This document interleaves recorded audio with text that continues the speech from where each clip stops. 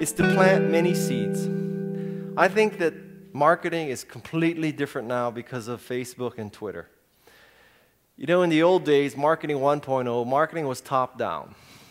And the way you did it was you figured out who were the opinion leaders in a certain segment. Wall Street Journal, New York Times, CNET, Fortune, Forbes, Entrepreneur.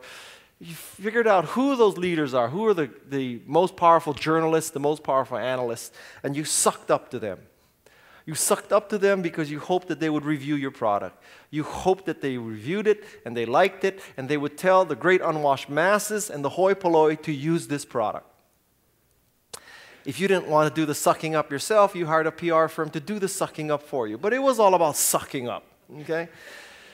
That was marketing 1.0. I think post Twitter, post Facebook, that whole theory has been reversed. It's been flattened the way it works now is it's not that these A-listers make a new product. A-listers report on products that are successful.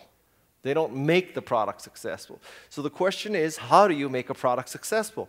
And I believe that nobodies are the new somebodies. That is, it's Lonely Boy 15 who's going to make your product.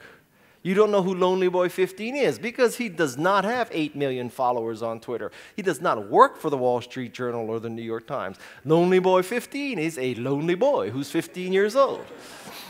and he may have 50 followers, not 5 million followers. But the problem is that Lonely Boy 15 tells his 50, who tell their 50, who tell their 50, and one day you wake up and you have thousands of, of, of users and followers and fans and friends and customers. So the only way you can get to Lonely Boy 15 is to plant many seeds. The assumption should be you have to plant many seeds. You need to design your product this way that you're going to plant many seeds. And then one day you'll wake up and you'll be successful, and then all the A-listers have to write about you.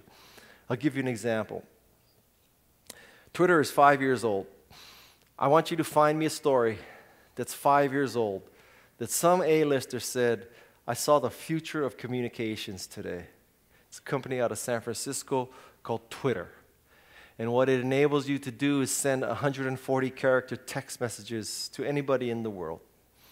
Right now, people are sending messages like, My cat rolled over. the line at Starbucks is long. But mark my words, someday Twitter will bring down totalitarian governments. I have seen the future of personal communications. There is no story like that. Twitter is successful because four years ago at South by Southwest, a bunch of nobodies at South by Southwest embraced Twitter and spread the word, and it took off. And now everybody has to write about Twitter, or you're seen as clueless. The way to do this is to plant many seeds. You want Lonely Boy 15 to use your product. With my book, Enchantment, you know, typically a business book is sent to 150 reviewers in the world. My book was sent to 1,600. It was sent to 10 times more. Today, there are about 350 reviews of Enchantment. And the reason why I did that is because I believe in this. I believe in planting many seeds. That now, of the 350 reviews, you'd be amazed. Some of are on blogs written by dog trainers. Um, it's been reviewed on vegetarian food blogs. But my favorite is that it seems like estheticians have embraced enchantment. So there are a lot of people who write beauty blogs who have reviewed enchantment. You know, one day they're writing about lipstick, the next day they're writing about enchantment. Hallelujah. You know, if 1% of the women who cared about beauty bought my book, you know how many copies that would be? My God, I would own the world. So, we could buy multiple Mustangs, one for each kid. So, the key here is to plant many seeds. Find Lonely Boy 15. I'll tell you a funny story. I keep using this theoretical example of Lonely Boy 15, and about a month ago, Lonely Boy 15 on Twitter wrote to me. I swear to God.